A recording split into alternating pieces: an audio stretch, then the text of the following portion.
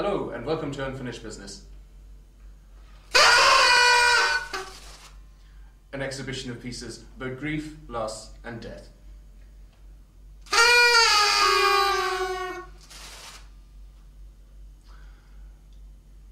This exhibition was uh, inspired, ironically enough, by uh, my family grave. And I remember being at the gravesite and looking at the headstone and thinking, my God, what's going on here? There, there was so much going on. There was uh, rosary beads, there are photographs engraved, there are crosses, there are flags. And around the gravestone itself, they have cherubs and plaques and even nightlights. I mean, it's like a disco for the dead. I mean, it just was too much. And I remember thinking, this is just awful. This is tacky. And then a bit later on, realizing that actually what we were doing was telling the story of the people who lay there. Uh, it took me a long time to realize that, but when I did, I got to thinking that actually what I was doing was painting pictures that were telling stories, the same stories for the same people. And this is how Unfinished Business came to be.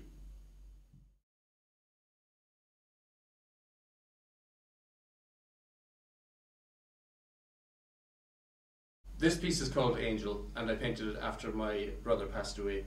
Uh, it's probably far and away the most naive piece I've done in that it's it's obviously uh, about him, and it's obviously him leaving uh, and and him passing away. I don't particularly like this piece, but what I do like about it, and what's important about it, is that it's my first step towards saying how I felt when I didn't have the words uh, to say outright to uh, family.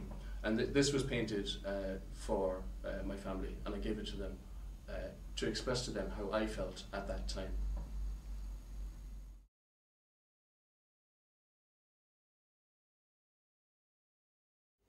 Pylons, pylons in the rain standing, surmising we are pylons, pylons in the rain shrinking, limp to the vein.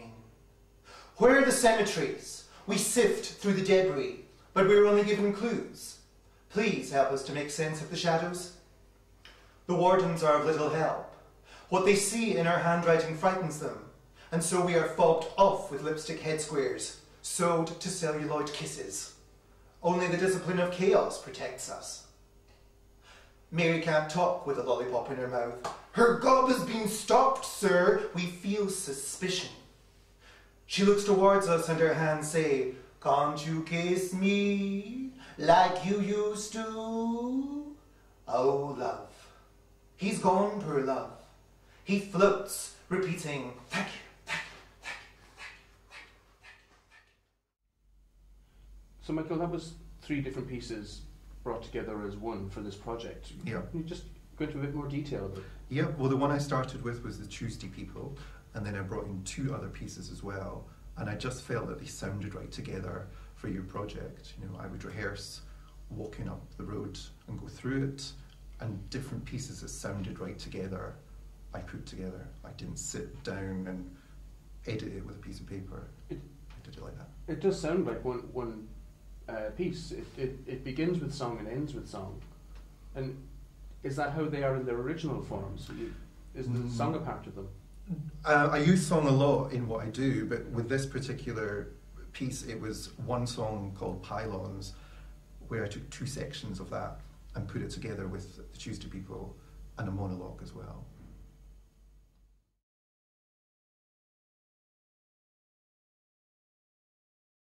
It's based on the fall of Lucifer, and how I wondered if halfway down did he regret his decision, only to find that it was too late to come back anyway. Um, it's clearly based on, on my brother, who I've already spoken about, and who is the um, subject of Angel as well. Um, as an image in itself, it didn't quite work. It never quite got there. But it is something that I would hope to revisit, uh, maybe to paint anew or to work on this one again. But as it stands, this is it, unfinished.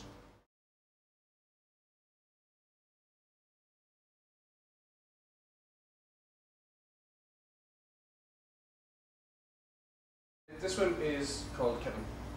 Uh, simply enough, it's called After My Brother. Um, this is him. who in death has become uh, a titan, um, as, as people do in death. They grow in stature. And in this one, he, he is the picture. It, uh, he is enormous. Uh, he's also life. In, in a lot of my pictures, uh, there are, there are trees which are, which are life, which are about strength. And he, he is the tree. Tree is part of him. And, and it completely encircles him. Uh,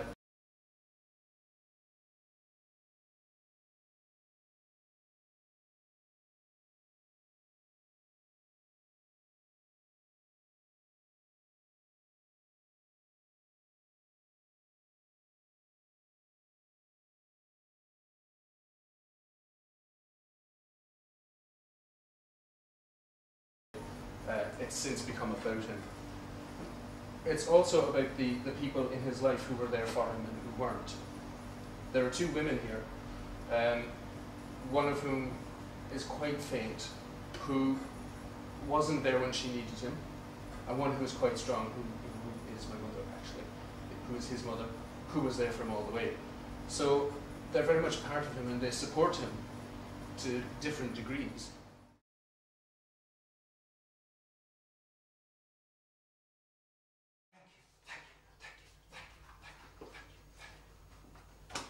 Would you like a little piece of gum? Just a little piece of gum, no? Just an itty bitty piece of gum? Is she clever? Nah. I was a real wallflower, a real zero grader, as my brother would say. He's dead now. Didn't know what to do, didn't know what to say.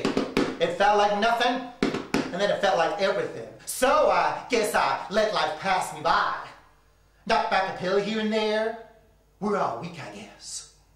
Can we all just get along? We're all God's children after all. Just a little piece of gum, no? Just an itty bitty piece of gum? Well, she is a great, great mind.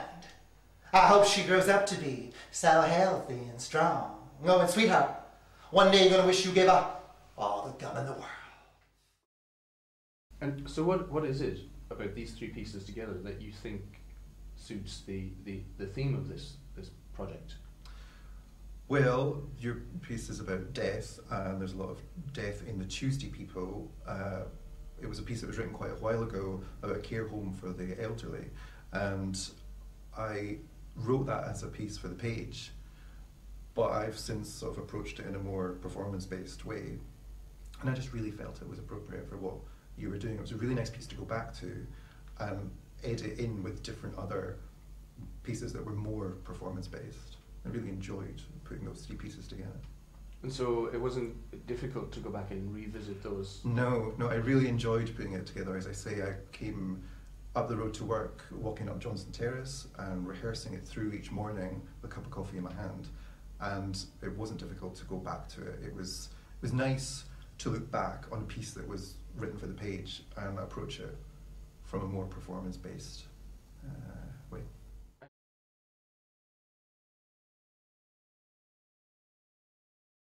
This is again about Kevin, and uh, this is quite clearly him. I think he is. Um, he's thin and slender and sort of weak in areas, but his ch- his chest is really strong. His his heart is really strong. Um, his head is bowed, not in shame, but in just in. Um, I think just just sorrow, and just sadness. Uh, the tree here, the hanging tree, um, he's holding onto. It's his. It's part of him. Um, you can see it's scorched. It's burnt. There's no life here. It's very it's very stark. Um, what it doesn't have is is is a noose. Um, this one doesn't need it.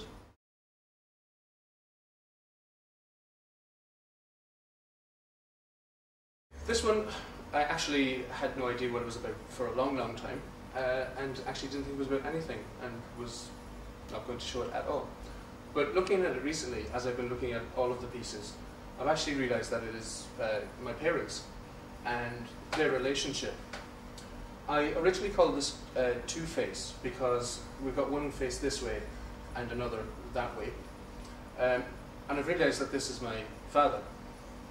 Not because he was two faced, but because he projected one image, whereas in fact he was a completely different person. Outwardly a very strong person, but inwardly very much needed his partner for support. Uh, and similarly, this being my mother on this side, um, a sort of a bowed figure, um, but with a, with a very strong headdress, with a very, almost like a crown of, of hair. Um, and I think it depicts the, the way that she supported him by letting him um, be the king of his own castle.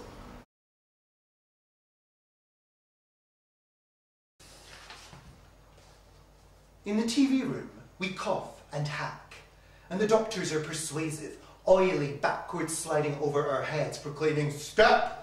Only one more step proceeding, until the hole in the ground is dug and filled. Tommy, we lay a rose. On the train, another excursion, we saw your face, disbelieving. And when you waved from behind those clear, clear sheets, we saw a sad old boy who could never look towards us and say, I feel loss. Now he's gone high, high, high, high, high above the wine of Hollywood sign, higher than the junkie on Franklin and Vine, high to the bubble bath in the sky. Home, home, we are home, home, we are home, home, we are home. Our reeds for the airborne say home. Fly home now, and we sink, fighting because every day a suitcase is packed. Every day. Goodbye. The typical notion of poetry is that it's very solitary, it's very, Mm. it's very confined, very, um, very personal, very private. And what you've done is taken something that is very personal, very private, and made it into a performance piece. Why perform it? Why, why, why sing it? Why, why say it so loud? I know it's there's different stages with that. There's the writing stage first of all, which is very private, and that's for yourself. And then it gets to the point with certain pieces that they need to be performed. I think this is why I started doing performance poetry. I did acting, and separately I wrote poetry. But it got to the point where I wrote a piece in 2001 that needed to be performed, and it was always written to be performed. The two things just naturally came together for me at that point. So there was the very private process of writing it, where there were notes that I was putting together all year, and then the piece I started with, a 15 minute piece, were written suddenly over four days. When I visited Sam, my friend in Birmingham, four days of putting notes on her living room floor, everything came together with uh, Under the Pink by Tori Amos playing in the background, on repeat playing. The softness of the music made me want to write something really hard and brutal.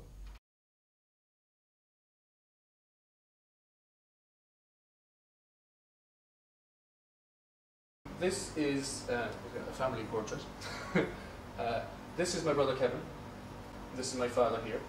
Um, both quite raw figures. Um, not necessarily because they're angry, although I think it, it does look quite angry. I think it looks like there's a lot of uh, rage here.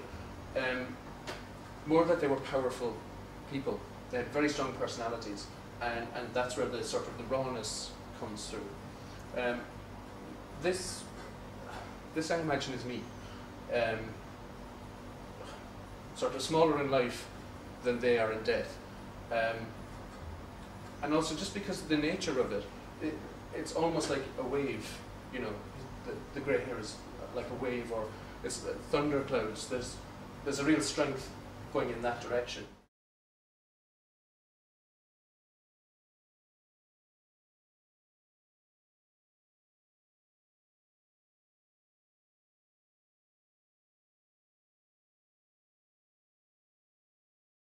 It wasn't initially painted for them, but as soon as it was done, I realised that it was their personalities in particular. Uh, the assumption would be, I think, that this is her and this is him, but actually it's not. Each character is a mix of both of them.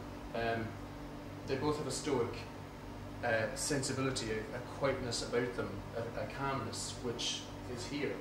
Um, but equally, there's a strength, there's a force uh, that they both have as well, which is here.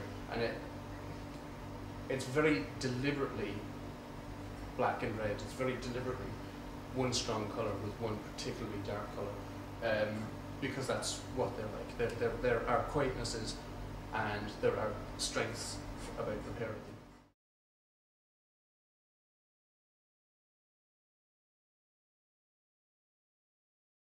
This one, uh, for no particular reason, I called all, because this seems to be um, a very clear and definite end to the series of pictures that we just looked at. It brings together everything um, that I felt or talked about in, in those images. And there are a couple of things. There, there's, a, there's a new growth here. There's a new, there's a new tree, there's a bud. So there's life coming through. And there's, there's a tree here again, which is, which is coming from this hand, um, which is actually my hand. Um, this, this is my story. This is, this is where I am. This, I think, is my father here again. This is, this is Kevin. Um, there is a centre here. Uh, there's a wheel here.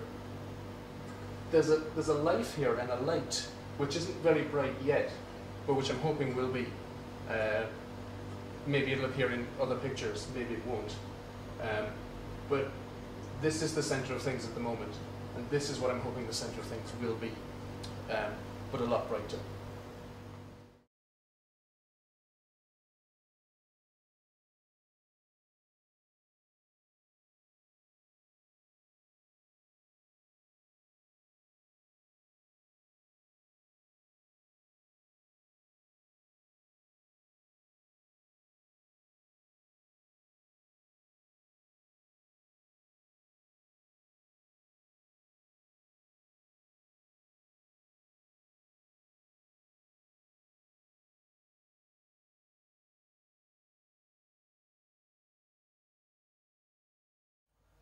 Now he's gone high, high, high, high, high above the wine, the Hollywood sign, higher than the junkie on Franklin and Vine, high to the bubble bath in the sky.